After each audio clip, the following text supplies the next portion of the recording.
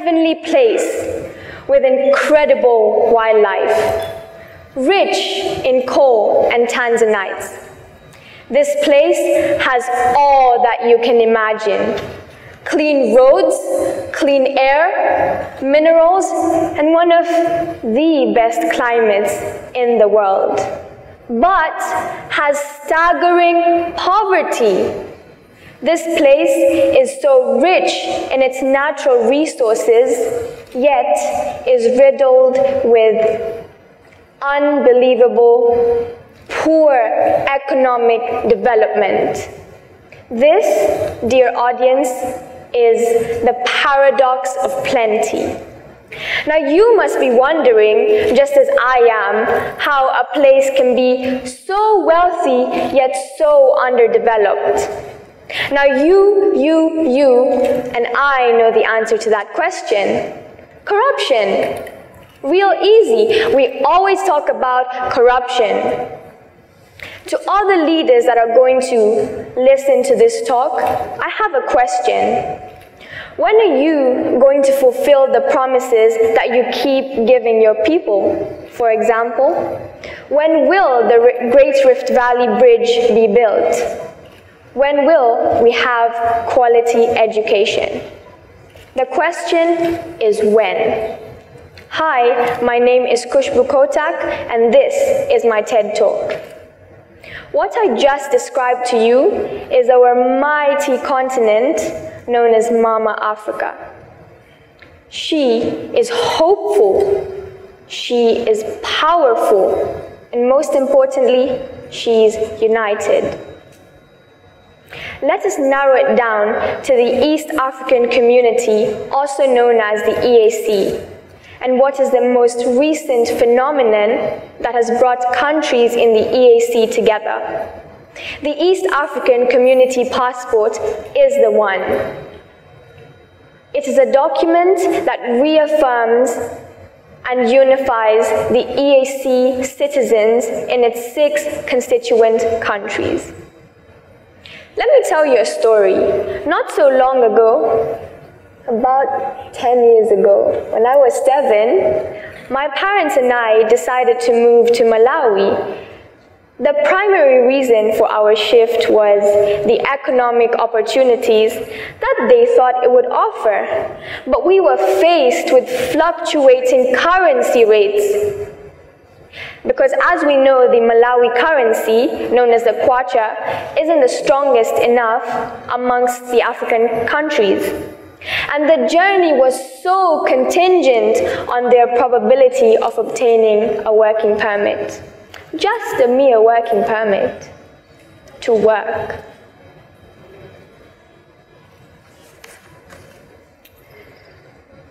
Let's retrace our steps back and talk about the eco-currency, which is the unified West African currency, which is supposed to be implemented in July of this year. My proposition is to introduce an East African currency to unify all the six countries. Did you know that Kenya's beautiful island, Mombasa, is a bustling tourist hub? Uganda's Crater Lake, Rwanda's high technological advancements, Burundi's culture, South Sudan wildlife, wildlife and Tanzania's jewels. Six booming economic sectors make up to 170 billion US dollars as GDP. Mind boggling, right? Now, I'd like you to visualize the East African Empire with socio-economic infrastructure development and high technological advancements. Let's visualize it. In my opinion, the first step to achieving this vision is through the very single currency. Because we have the power and the capability of achieving and implementing this one currency. which will catapult us into creating this very plausible future. Our march to freedom will begin when we materialize the immense benefits that this one currency has to offer. Let's take a look at Rwanda. Rwanda has come from such an unfortunate place, the Rwandan genocide, and today, amongst the African countries, has extremely high technological advancements.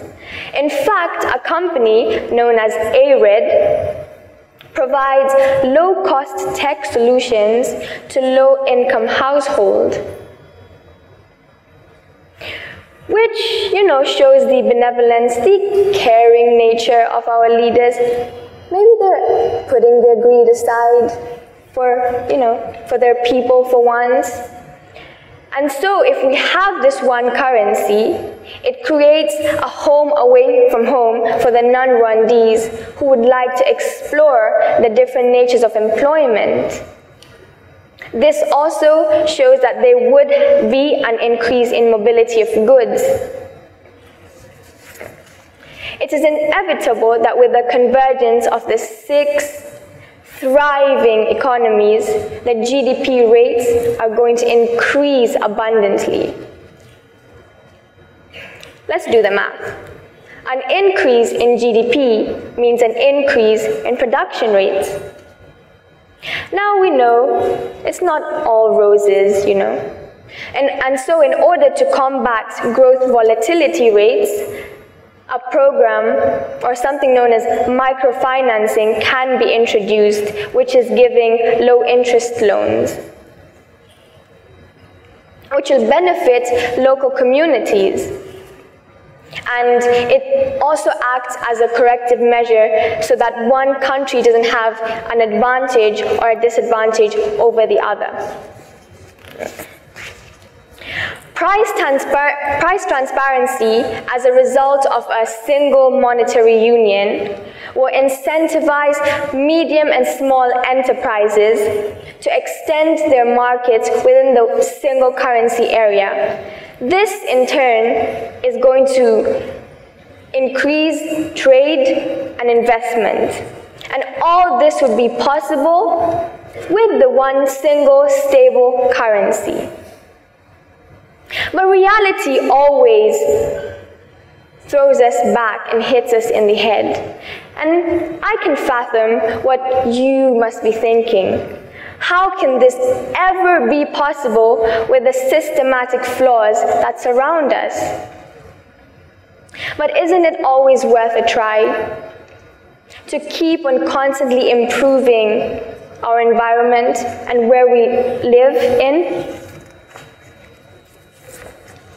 I talked about microfinancing being an advantage of to you know, a corrective measure. But it also has its disadvantage, which is it can cause countries to have a mounting debt.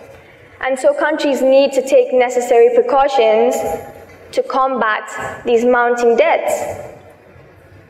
And one necessary precaution that a country could take is banks can set pro uh, production targets and so once those targets are met, then the loans can be increased.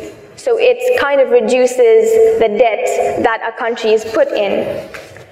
Now, inflation rates is also one disadvantage when you'd like to, you know, create a one currency. And so I mentioned having one currency in East Africa. And in East Africa, we have six different countries. And amongst these six different countries, five out of six of them have the lowest inflation rates below 5%. So it is a very possi uh, possible thing. Now, if you can recall, I began this talk with the word imagine. I'd like you to imagine the most perfectly salted fries or the most perfectly topped burger with just the right amount of cheese. Mmm, you can almost taste it, am I right?